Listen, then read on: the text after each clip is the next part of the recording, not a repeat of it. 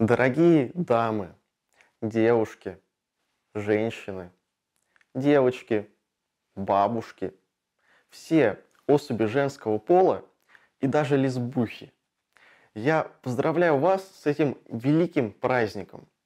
И хочу, чтобы вы побольше кушали арбузика, дыньки, пили водички, чтобы камни встречались в вашей жизни только на улице, а не на рентгеновских снимках, чтобы они выводили воды и другие вещества.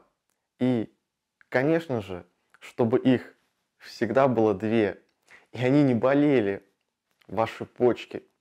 С праздником вас! С великим Международным днем почек! Я провожу тренинги, и все мои участники начинают зарабатывать сразу же после первого занятия.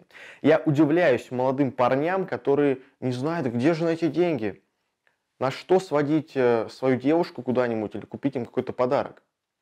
У вас нету цели по жизни, нету амбиций. Послушай, у тебя две почки.